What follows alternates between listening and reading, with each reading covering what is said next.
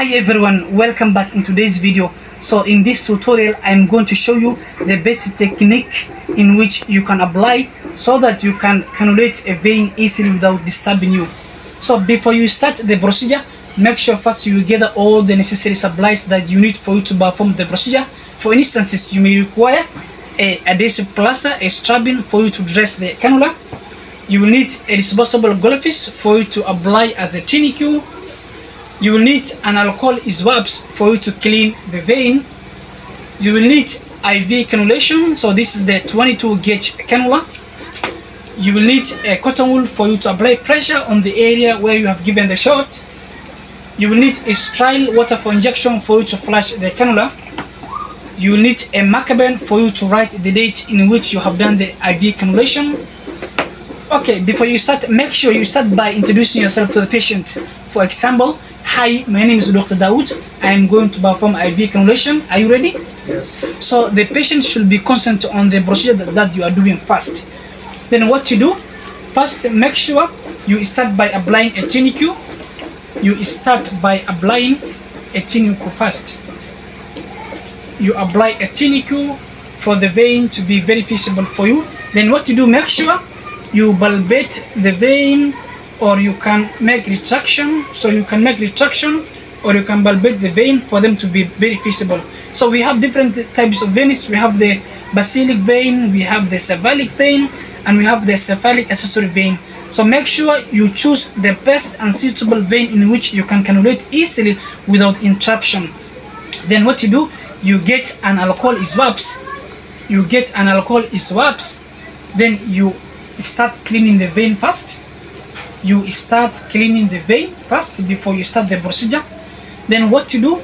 Make sure your hand should always be in this side so that your thumb can support you when you are doing the IV cannulation so that you can retract back the skin to avoid the vein from rolling side to side. So your thumb should retract back the skin to avoid from the vein rolling from side to side so that you can cannulate comfortably and easily without breaking the vein and is being and being swollen then what you do? Make sure mistakes to avoid whenever you're doing IV cannulation make sure you avoid injecting injecting or inserting. Make sure you avoid inserting IV cannulation an area where two veins meet. So make sure you avoid an angle where two veins meet. Then what to do? Always retract back the skin so that you insert the cannula safely without any interruption. Then what you do you remove you get the IV cannulation you remove the cannula from the manufacturer's packaging then make sure first you attach the cannula secure you secure it first before you start inserting into the vein. Then you remove the cap of the cannula then you hold the cannula the right direction on the right angle so that you can insert um, comfortably comfortably without any interruption.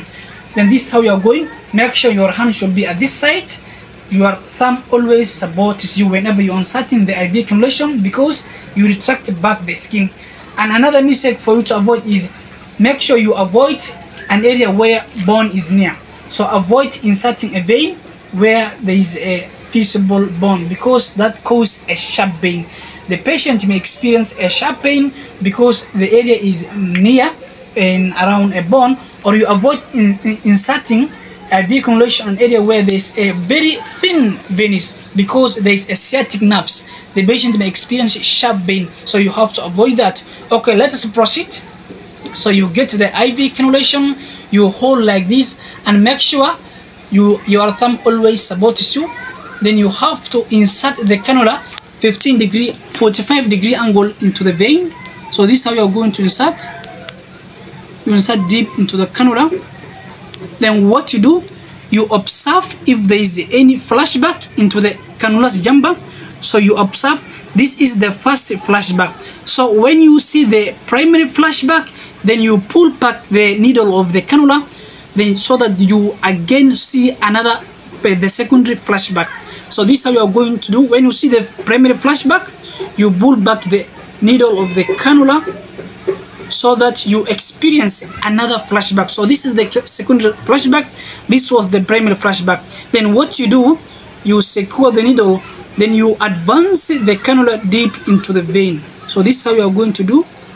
So make sure you insert it like that. Then what you do you remove the tourniquet then you hold your thumb on the tip of the cannula to avoid blood rushing outside of the cannula then you get the IV cap cannula. You remove the needle completely like this. Then you attach the cap of the cannula at the end. So you attach it. You attach like this. Then what you what you do you start dressing the cannula.